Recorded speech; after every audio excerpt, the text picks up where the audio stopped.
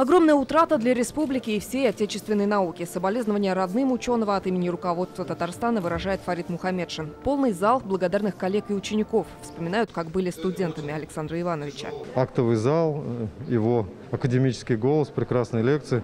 То есть тогда я впервые познакомился с Александром Ивановичем.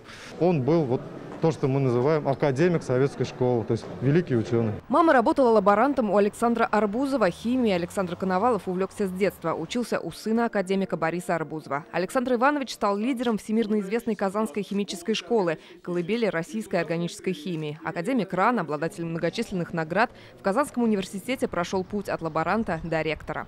Когда вначале профессор Ножин, а потом профессор Коновалов шли, мы старались не попадаться им в глаза и уходили на другую сторону тротуара, либо во дворе университета, для того, чтобы не получить замечания. Студентам побаивался, сам став ректором, всегда прислушивался к его советам, говорит Ильшат Гафуров. При Коновалове открывались новые факультеты, развивались все направления вуза, был построен Центр студенческой жизни «Уникс». В то время он начинал день с планерки со строителями. Вот до такой степени значит, Александр Иванович относился трепетно к созданию этого э, КСК «Уникс».